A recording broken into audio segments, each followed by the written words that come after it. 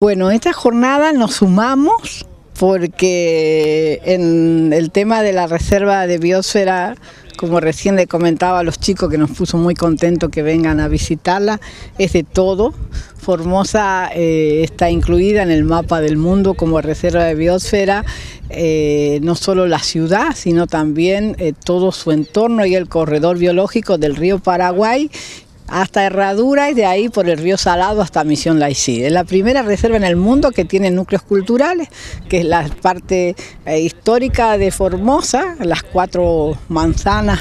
eh, iniciales desde el plano de su fundación y todo este recorrido. Y lo bueno es que eh, es una sumatoria de, voluntades. Esto lo organizó la municipalidad, el Ministerio de la parte turística, el Ministerio de Turismo, la Jefatura de Gabinete, nosotros que pertenecemos a la UCAP, la Escuela Número Uno, el grupo de Fernando Gaona que hace todo el acompañamiento logístico, o sea que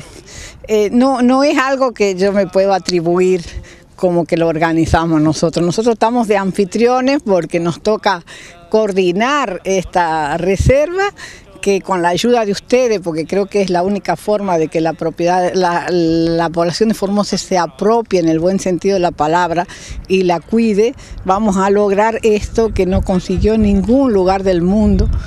Conocemos que hay muchas bellezas, pero eh, Formosa será por su gente, será por su, belleza natural y por sus paisajes pristinos que todavía tiene. Eh, que ha sido, eh, ha, logrado este reconocimiento a nivel mundial. La verdad que esta era una de las propuestas ya de la escuela pero no podíamos hacerla viable, como había comentado, por el transporte y queríamos hacer esta actividad para toda la institución y también para la familia, que acompañe en esta actividad de eh, valorar lo que tenemos, eh, el medio ambiente, cuidar este hermoso lugar que gracias a Dios hoy es un hermoso clima tenemos que nos está acompañando y sobre todo eso, que las experiencias sean eh,